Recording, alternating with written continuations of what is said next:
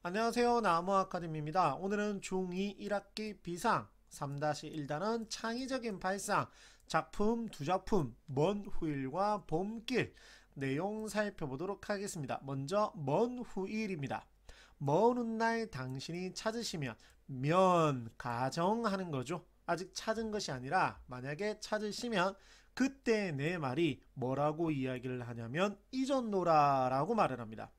여기서 잊었다라는 것은 진짜 잊었다라는 것이 아니라 상대방에 대한 자신의 간절한 마음을 효과적으로 전달하기 위하여 반대로 말을 한 겁니다. 그것을 무슨 법이라고 하죠? 여기 있는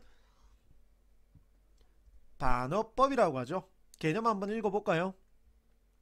표현의 효과를 높이기 위해 말하는 이나 글쓰기가 자신의 속마음과 반대로 표현하는 것을 의미합니다.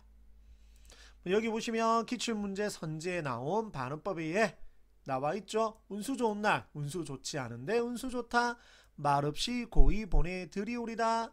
사소한 일 전부 다 반어법입니다. 눈으로 한번 봐두시면 되고 자 이전 노라가 뒤쪽에 가면 계속 반복되거든요. 그래서 반복법도 해당이 됩니다. 그 다음 밑에 보시면 당신이 속으로 나무라며 무척 그리도라. 그리다가 반복 잊었노라. 여기 운율형 성 방법 되어 있는데 이 작품은 사문보 그 다음 같은 문장 구조가 반복됩니다. 그래도 당신이 나무라면 믿기지 않아서 반복 잊었노라. 오늘도 어제도 아니 있고 먼 훗날 그때 잊었노라 잊었다라고 계속 반복하고 있습니다. 사실은 잊은 것이 아니죠. 그만큼 당신을 간절히 사랑한다라는 겁니다. 이러한 내용의 작품이고 자 볼게요. 그 다음 작품 봄길 길이 끝나는 곳에서도 길이 있다. 무슨 법일까요? 길이 끝난 곳에 길이 있다는 것은 말이 안 되죠. 이러한 것을 역설법이라고 하죠.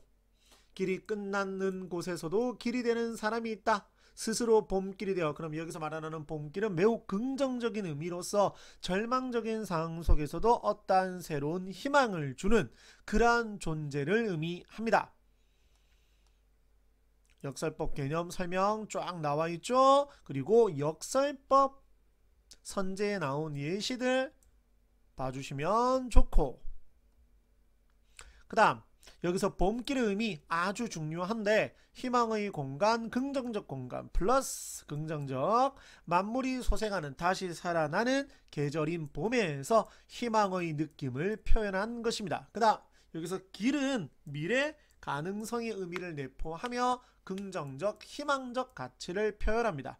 그래서 1, 6행까지의 의미는 절망적인 상황에서도 희망을 잃지 않는 사람이 있다라는 것이고 7, 8, 9는 강물은 흐르다가 멈추고 새들은 날아가 돌아오지 않고 하늘과 땅 사이의 모든 꽃잎은 흩어져도 아주 안 좋은 상황이죠. 이라는 것을 절망적인 상황을 자연물을 통해 표현하였다고 했습니다. 그 다음 보라 사랑이 끝난 곳에서도 사랑으로 남아있는 사람이 있다. 즉 사랑이 끝났는데 사랑으로 남아있다라고 했으니까 이것도 역설법이겠죠. 그 다음 보라 보아라 라고 말을 했으니까 이것도 명령형입니다. 그 다음 마지막에 보시면 봄길을 걸어가는 사람이 있다 라고 하는 것은 여기 보시면 어떤 상황에서도 희망을 잃지 않고 묵묵히 걸어가는 사람을 의미한다라고 볼 수 있습니다. 그리고 이 시의 시적 화자가 중요하게 생각하는 가치는 이 시에 말하는 이는 절망적인 상황에서도 희망과 사랑이 존재한다는 믿음을 드러내고 있으며 이를 통해 말하는 이는 어떠한 상황 속에서도 희망과 사랑을 품은 채로 꿋꿋하게 살아가는 삶의 태도를 중요하게 생각하고 있음을 알 수 있습니다. 이렇게 작품을 정리해 보았습니다. 이제 문제 한번 봐야 되겠죠?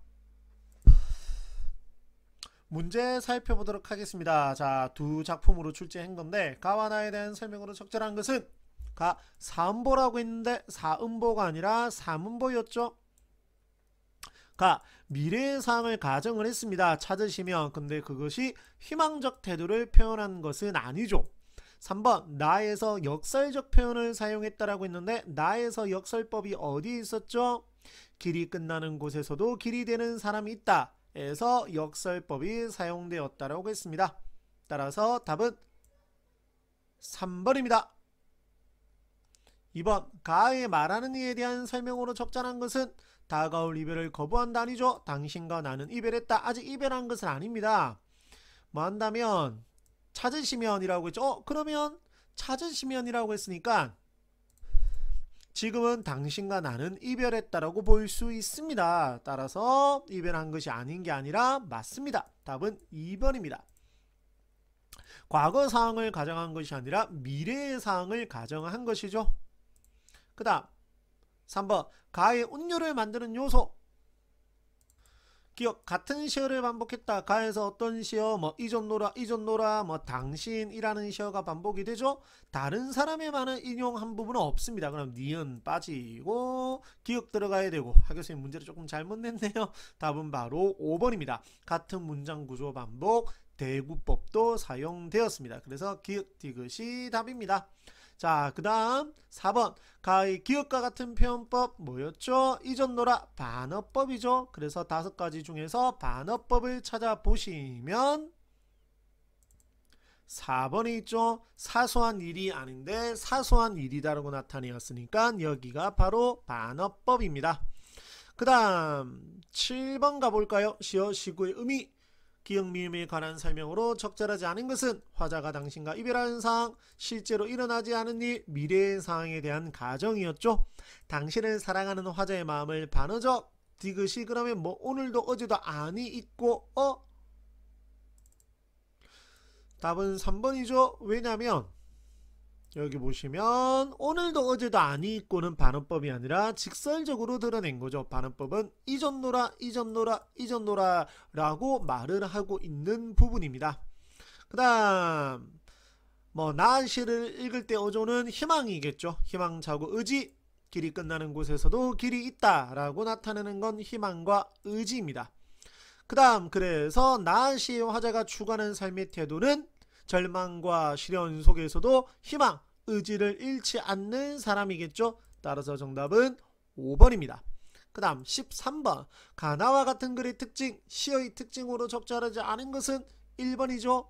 인물 간의 갈등 관계에 관계가 초점이 되는 것은 서사갈래입니다. 따라서 정답은 1번입니다. 좀 다양한 문제를 살펴보았는데 시 두 편을 분석하시고 표현상의 특징 여기서는 반어법 여기서는 역설법 꼭 기억하시고 그 다음 운율 형성 방법도 특히 가 작품에서 사문보가 사용되었다는 거 꼭 기억을 하시고 그 다음 시어 시구의 의미까지 정확하게 정리를 하고 계시면 어렵지 않게 모든 문제들을 해결하실 수가 있으실 것입니다. 지금 보시는 다양한 자료들은 저희 나무 아카데미를 통해서 이용하실 수가 있습니다. 감사합니다.